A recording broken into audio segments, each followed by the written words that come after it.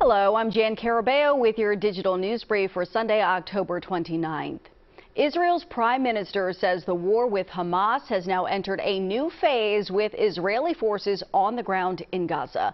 According to defense officials in Israel, in one day, fighter jets hit more than 450 targets linked to Hamas, including tunnels and other underground infrastructure.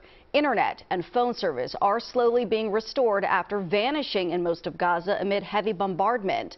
And a UN agency says thousands of people have broken into aid warehouses in Gaza to take food and basic survival items. Israel's prime minister pledged to destroy Hamas and rescue the hostages. The entertainment world is mourning the loss of sitcom star Matthew Perry.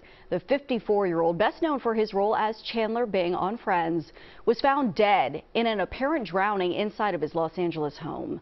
Officers were called to that home yesterday where they discovered Perry unresponsive in a jacuzzi. That's according to the LA Times and TMZ. Both are citing law enforcement sources. An official cause of death has not yet been determined.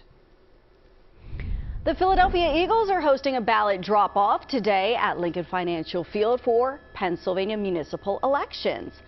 Registered voters are welcome to drop off their mail-in ballots from 10 a.m. until 11:30 a.m. in the K-Lot. That can be accessed from either 11th Street or Pattison Avenue. And a reminder, voters must deposit their own ballot into the ballot box.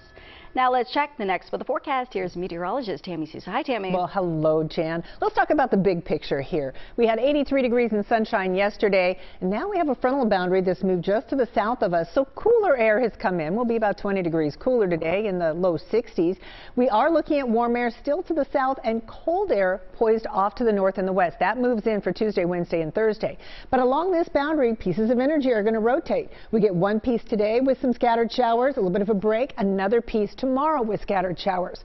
Here's how the whole thing works out. Into the afternoon, we are looking at scattered showers here and there. A lot of the activity from Philadelphia north and west. We do this tomorrow morning. We're going to continue into the afternoon and evening, and then things start to clear out for a beautiful Halloween. The place that gets the most showers, far north and west. That would be the Lehigh Valley and the Poconos. The least chance of showers is going to be South Jersey and Delaware. And by the time we get into Tuesday, we clear out. Looking good, but very cold for the trick or trick-or-treaters. Here we are at 3.30 when the little ones are out and about, and please exercise caution because they're going to be running around on the roads, so uh, slow your roll and keep an eye out for them.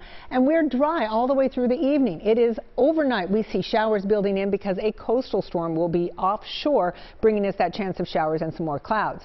Once we get past Tuesday night and early Wednesday, we dry out for the remainder of the week, and yes, that does include headed into next weekend.